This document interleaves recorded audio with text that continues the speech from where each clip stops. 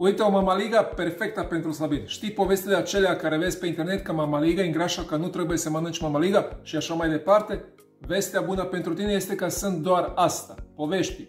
Pentru că aici ai rețeta perfectă pentru o mamaliga de slăbit.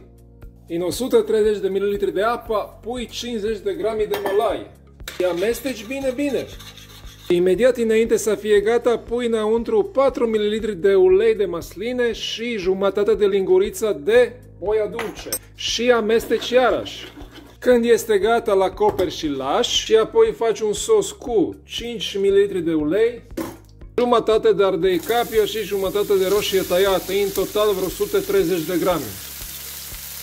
Două linguri de roșii în cuburi să fie bogăție, Secret, jumătate de linguriță pastă de tomate, 50 grami prosciutto. Sosul gata în 4 minute. Am mai adăugat și 30 de grami de telemea de vacă uh, pentru gust. În total avem 450 până 500 de kilocalorii și 22 de grame de proteine. Pofta mare să ai!